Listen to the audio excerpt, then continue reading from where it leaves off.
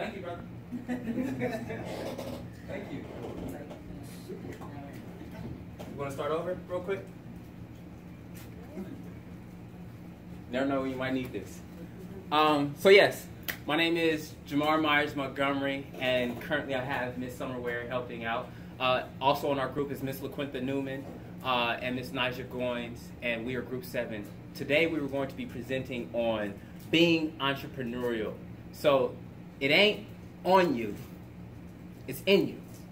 Next. So we have entrepreneurship versus entrepreneurial thinking. The first thing that comes to mind when we hear of entrepreneurship, we think of going out there and starting a business. Am I correct? Yes.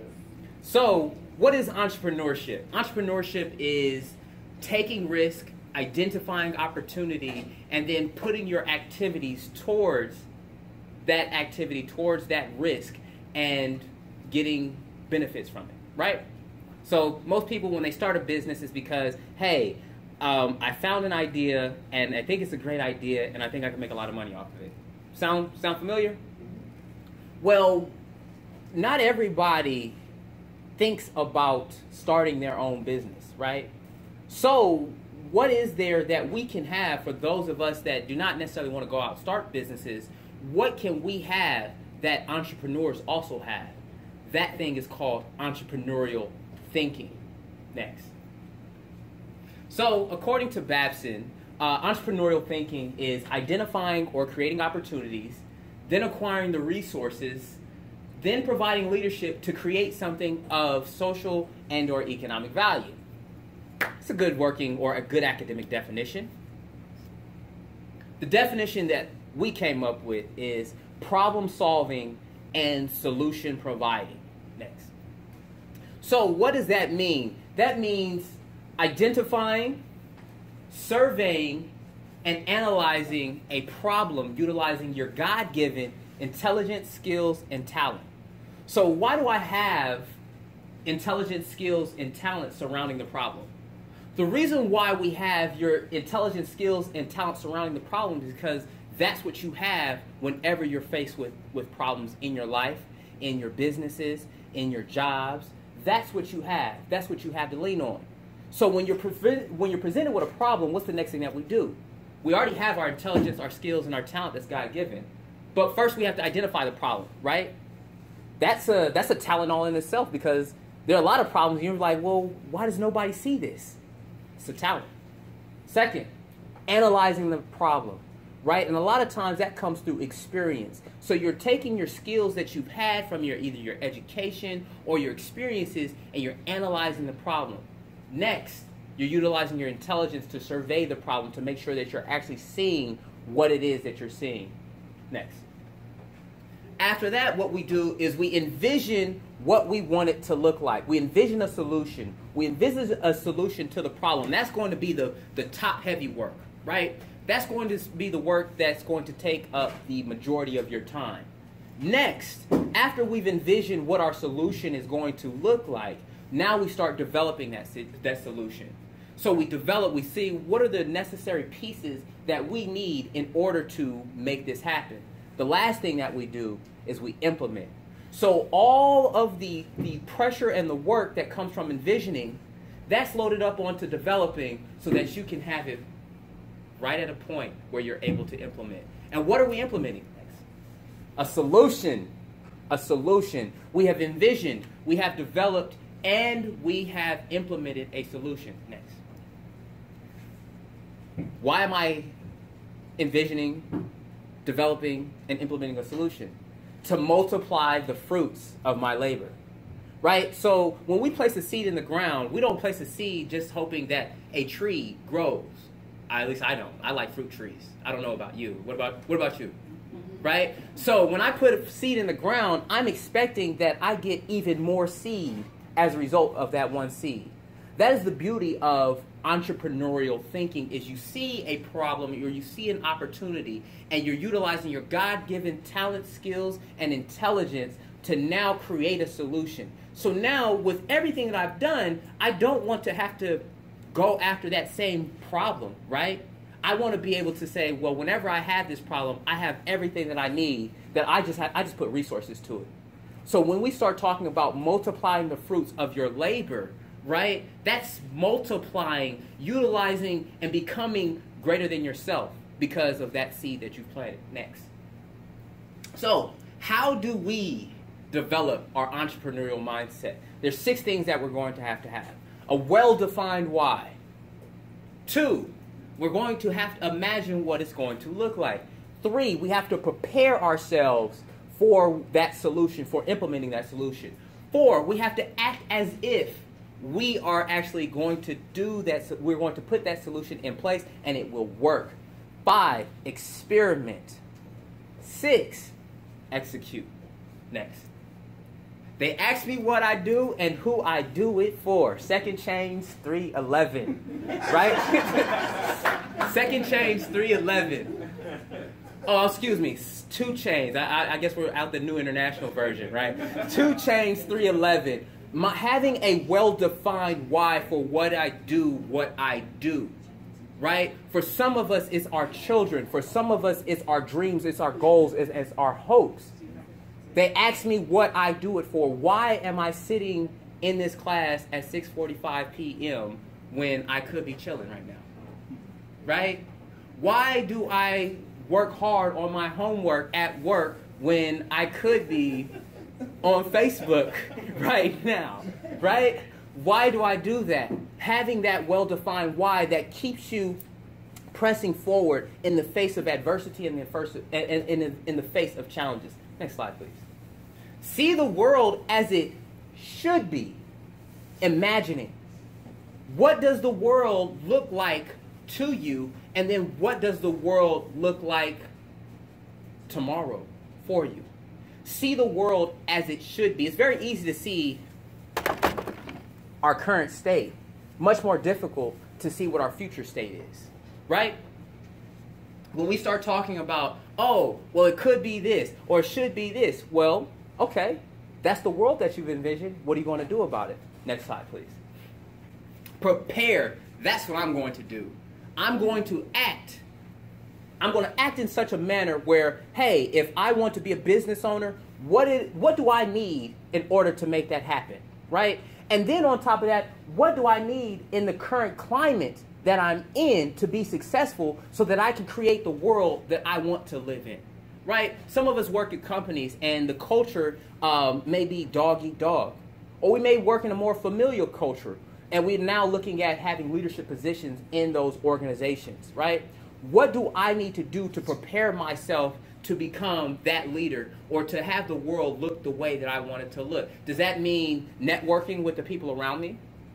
Does that mean becoming a better marketer of myself? Does that mean picking up some new skills and some new expertise? I start preparing to, for the world that I want to live in. Next slide, please. Act as if. When I understand the reason from my core of why That's something right should work all the way through. So I understand we want to make it about music. Can you hear it? But I wanted to take this step to say, we got this new thing called classism. It's racism's cousin. This is what we do to hold people back. This is what we do. And we got this other thing that's also been working for a long time where you don't have to be racist anymore. It's called self-hate. It works on itself. It's like real estate of racism. Where just like that, when someone comes up and says something like, I am a God, everybody says, who does he think he is? I just told you who I thought I was. A God. I just told you. That's who I think I am. Would it have been better if I had a song that said, I am a nigga? Or if I had a song that said, I'm a gangster. Or if I had a song that said, I'm a pimp. All those colors and patinas fit better on a person like me, right? But to say you are a God, especially when you got shipped over to the country that you're in and your last name is a slave owner's. How could you say that? How could you have that mentality? Act as if, right? So a lot of times when you see when I interact with people, what's the thing that I say? I say, "Hello, Queen. Hello, King." I'm acting as if I know who you are. I know that you're a king. I know that you're a queen. I'm going to address you as such. I'm going to act as if I am dealing with royalty. So, what does that do? That changes the way that I think and might plant a seed in your mind about, hey, I am a queen. Hey, I am a king. Next slide, please. Experiment. Build a little, test a little, learn a lot. What I have in front of me right now is the my experimentation. I wrote a book called Montgomery's Declassified Guide to Succeeding in Law School. I graduated law school in December 2016, and I started writing this book in May, June, June of 2016. And I said, you know, how, do, how can I help others around me, right? I'm graduating law school. I can't give the game to everybody individually by just speaking to them. I have to be able to ha- be an extension of myself. I have to have something that allows me to extend myself so that I can give what I've gained in the school to someone else. So, build a little. This is the first iteration of the book. Very first iteration from the handwritten notes. Test a little. Second. Third. Fourth. Fifth. Sixth learn a lot. The final version of the book. So I went through seven iterations of my book to get it correct. But what was I doing at each point in time? I was learning about becoming a better writer. I was learning about becoming a graphic designer. I wrote, edited, did the artwork, and self published the book. Right? So all throughout that process, I'm learning about the book making process, the book writing process. I was building a little. I was testing, testing a little, and I was learning a lot along the process. Your nose. The only time that you can earn something is if you what? Do something, right? So if I've earned a no, I've, that means that I have done something, correct? So if I've done something and I've gotten a no, then I've figured out one less way of being turned away from my yes. I'm that much closer to my yes. That means that I'm earning my nose. I'm taking my hits as they come because if I'm in a ring, I can't step into a ring and not expect to get hit. So, with that, I'm going to take my hits. I'm going to take my lumps so that I can get my knockout punch at the right time. So, I'm earning my nose because small no's do what? They trade into big yeses. That's the beauty about having those small no's. You get a get a you accumulate a bunch of them. You'll be told, "Oh, you don't have the right education." That's your first no, right? You're too young. That's your second no. Oh, GPA isn't high enough. Your third no. You might even be told your skin tone, your culture, your hair is the wrong wrong color. You might be told that. You're earning your no's for what? So that you can trade into those bigger yeses. Those no's should propel you into going farther to get your yes. Because just on the other side of that no is a yes. But the only way that you can get there is if you keep going at it. That's the whole beauty about experimenting. You find out what works and what doesn't work. What works for you, what doesn't work for you. What works for the world that you have to interact with, and what doesn't work with the world that you interact with. Next. Execute. I love this picture. I do not like Conor McGregor. I do not like Conor McGregor. And the reason why I don't like Conor McGregor is because I don't like how Conor McGregor talked about black women and talked in, re- in reference to black women.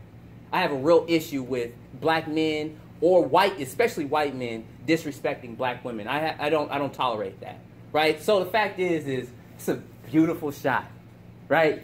So execute. Well, what did I have to do when I wrote my book? Had to keep going, keep going, keep going, keep going, keep going. The scariest part is executing. And the scariest part about executing is you now have to deal with a different fear. It's that fear of success. That's what kills a lot of entrepreneurs or people who utilize entrepreneurial thinking is that fear of success. And you would think like, well, why would anyone go ahead and go back? Why would anyone be afraid of success? Your life changes the moment that you are successful. Your life changes the moment that you move and act upon your convictions and you were right. Even if you weren't right, Your life changes. You're no longer the same person that you were before. And now that fear of success is saying, well, do I want that change? Do I really want that change? Next slide. I always felt like I could do anything. That's the main thing people are controlled by. Thoughts, their perception of themselves. They're slowed down by their perception of themselves. If you're taught you can't do anything, you won't do anything. I was taught I could do everything. Next slide. Thank you.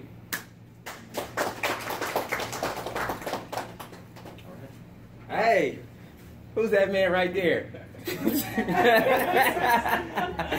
Go ahead, brother. I am selling my book. I have copies for, uh, for sale, as a matter of fact. One for six, two for ten, and three for twelve. Thank you.